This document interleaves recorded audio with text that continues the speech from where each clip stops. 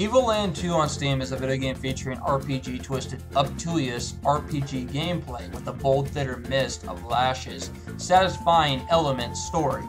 The dialogue is full transported with happiness and volume laughter directly into a solitude energy form of gratitude. Feathery details that blow away most gamers into comparison with other 2D RPGs, but here's the blanket of wisdom to your ears. It's also 3D in some aspects. So you get a classic and a newly forbidden one coming out of the crystal closet. It has firm beliefs of correctness, dark spots of frustrating parts, so it's really a love goodie that's delicious and well bitten. But you also have a hate relationship to it as well because of the difficulty that most gamers can understand in lifting scenes of Umbrella Hell Roses of spiky puzzles that give you a urgent headache so fast. Your swifting arms can't dream of the drinking fluids jumping into energetic blasts of fun.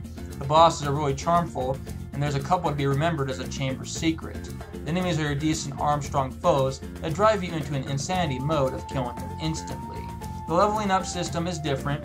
You gotta collect these yellow star bits that flow into your serving veins, and you level up your HP, attack, or something else that you worship. First of all, the world looks great. It's really a fine line of pretty visuals when you beat the game. There's not many people that worked on this masterpiece, which is surprisingly way cooler than I expected. Props to everyone that busted their tail heights to make this a tally classic.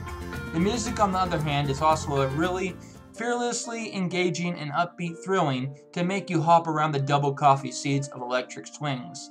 Then you also have emotional trails of feelings down to your wretched soul. What really makes this game really a high topping score is the mixed gameplay and video game references it puts in the blinding glow of impurities. You get to see Sora from Kingdom Hearts, Link from Legend of Zelda, and I don't want to spoil any other interactions and dialogue scenarios that make you rage and comment, don't spoil this for me. For what I played, this game is an absolute drawing, artistic, clamping shore, diving master class that makes most games a chump into a barrel fishing for a rare cracker that unites what video games are made of. If you're looking for a long RPG adventure with everything I explained, then this game is a game for you.